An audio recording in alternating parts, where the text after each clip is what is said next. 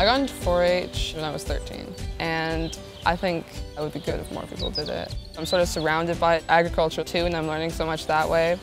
My parents are involved. We get eggs and we get food from the garden and we get honey from the bees. And I find honeybees interesting because they're so important in food production and if we want to keep eating apples and blueberries and cherries and stuff, we need honeybees to pollinate them.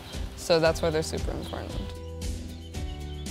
I think 4-H helps people see like where they can go and you get to learn so much. I think that's super great and it's really helped me because I'm not naturally good at public speaking, but we do it so much every year that I think I've gotten a lot better at it and it's a lot easier for me.